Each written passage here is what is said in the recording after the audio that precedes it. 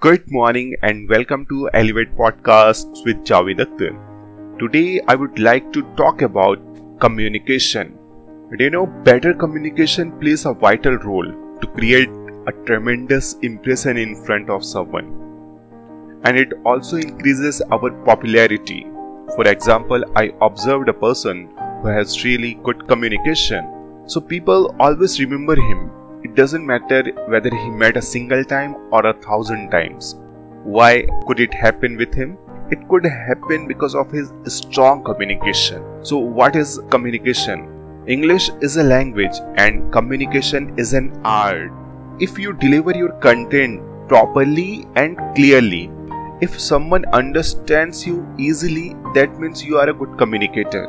Your words or sentences should be understood then you will be a good communicator otherwise you won't. So gradually let's talk about a few things which will help you to make a good command over communication. First thing is be an active listener.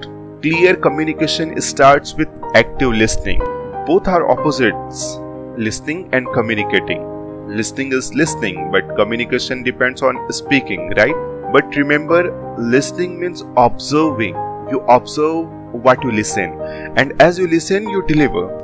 An effective communicator uses a variety of listening styles. They pay close attention to what's being said and make others feel heard and considered. So, that is why active listening is very important for our better communication. Second thing is record your audio or video. If you do so, then you can observe yourself that how you are sounding how you are speaking, how you are delivering your content, that you are clear or not. You can observe things better. After that, easily you can work on your betterment, on your improvement. Third thing is practice.